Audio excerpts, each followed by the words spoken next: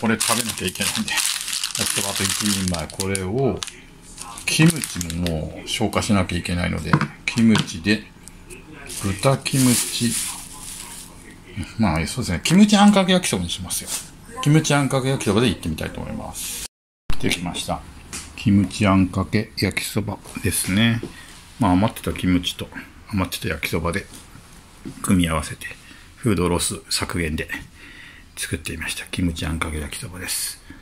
えー、っと、ね、野菜と肉とエビと、それをキムチで炒めたあんかけにした。そんな感じの焼きそばですね。これをいってみたいと思います。キムチあんかけ焼きそばです。えーと、じゃあ今日は、朝日の、また、ノンアルです。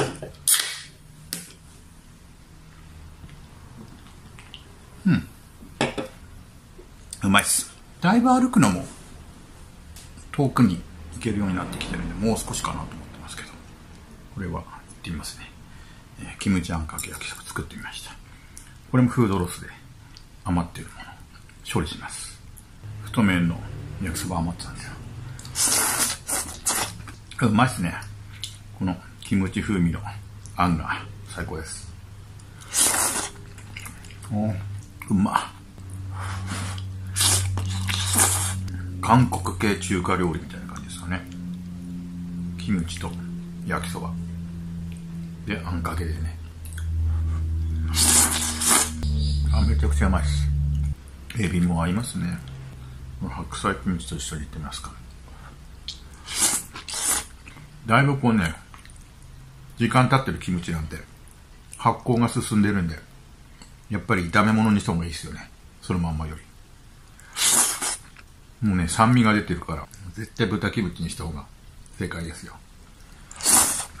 キムチあんかけってのも、初めてやってみましたが、案外僕はこれは何でも合う気がします。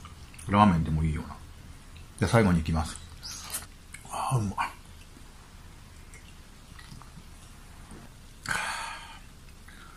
今日も一日頑張ります。今日はなんか天気が良くなってきましたね。朝とかはさすがに梅雨っぽい天気で悪いなと思ったりとかして、今日は朝、ブラブラ、ブラブラというかスーパー行ってみたんですが、帰りに近所のじっちゃんばっちゃんと会って、僕が骨折したって話にして、長かったですね。骨折の話がね。やっぱじっちゃんばっちゃんぐらいになると、やっぱ骨折あるあるが多いんでね。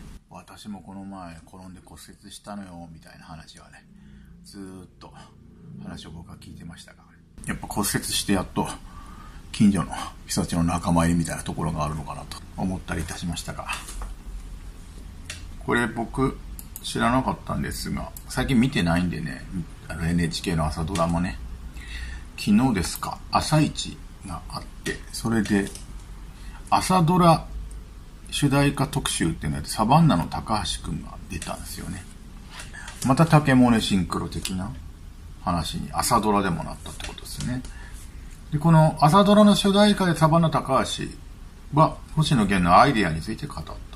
アイデアっていうのは半分青いのテーマ曲だったってことですね。僕はそれちょっとあんま知らない。そこはちょっとあんまりわかんないですけどね。主題歌アイデアは星野源さんが担当した。担当したと。アイデアは朝ドラのオープニングで流れるの1番だけですが、2番以降アレンジを大きく変えた大胆な曲の構成も話題を集めたと。思い出の朝ドラの主題歌を聞くと高橋は、サバンナ高橋はアイデアと回答したと。高橋さんは、心が踊る曲なんですけど、この曲も本も朝ドラの1番とそれ以降の展開が違いすぎてびっくりするぐらい違うんですよと話す。続けて高橋さんは、星野源さんの仕掛けがあって、それの答え合わせを紅白歌合戦で見て、ああ、すごいなと思ったのを覚えてると。で、高橋さんは、半分青をやってる時に、佐藤健君と脱出ゲーム一緒に行ったんですよ。その時僕、謎解くよりずっと律を見てる感じ。どんなアイデア出してくれるんやろうって、劇中で律を演じた佐藤健とのエピソードを紹介した。高橋さんは、だから、こっからずっと毎朝見てると、半分青い以降は朝ドラを視聴するのルーティンになったと明かしてる。で、ネットでは、現在のアイデアについてサバンナの高橋さんが語ってくれて嬉しい。アナウンサーさんも大ファンとのこと。半分青いの時期にタケルさんと脱出ゲーム行ってリスと一緒にいる感覚だったサバンナ高橋さん。主題歌、アイデア展開にびっくりしたのめっちゃわかる朝一でサバンナ高橋さんがタケルさんとの半分青い放送中にタケルさんとダイスゲームに行って謎解くよりずっとリッツを見てる気分やったらしいなどのコメントが上がっているということで、まあ、ここで佐藤健君の話題が出たということですね。また半分青いの放送中に高橋さんと佐藤健さんのラスケゲームに行ったというエピソードも印象的だと。これね、まあだからプライベートで行ったってことですよね。これなんとなく僕が想像するに見てないんですけど、想像するに、まあこれは、ノブつながりで行ったなと思ってますね。サバンナ高橋と千鳥ノブって仲いいんですよね。普段から仲いいなっていうのはなんか、なんかで見たことありますよ。あのー、二人とも脱毛仲間ですよね。アメトークで脱毛芸人の中で出てましたよね。えー、高橋さんも。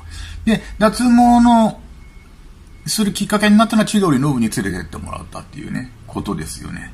だから普段から、えー、行動を共にしてるのが千鳥ノブなので、高橋さんは、たけるくんと言ったっていうのはなんかここで繋がってんなっていうふうに僕はこれを見て感じたというところかな。あとまあこの同じ日に、朝一で29日、主題歌特集で紹介されたのが、モネちゃんのカムカムエブリバディのアルデバラ。まあ、これ最高の名作ですけどね。この日は朝一は朝ドラ主題歌特集は、大の朝ドラファンと知られているサブの高橋が、コーナーの MC を務める。だからこれですよね。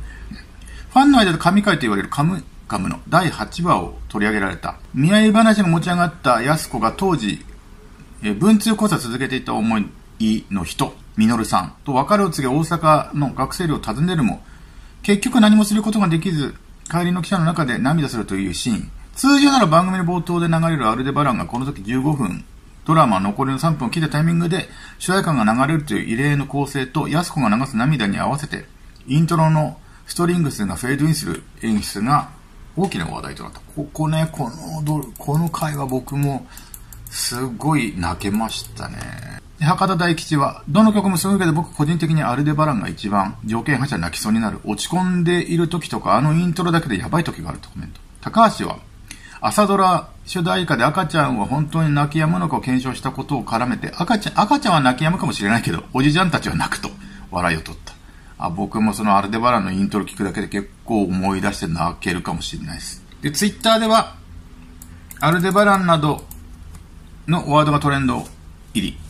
視聴者からイントロがこんなに泣ける曲他にないわね。大吉先生もやっぱりアルデバランが一番押してくれてありがとう。大吉さんがアルデバラン聞くと泣きそうになってわかるわ。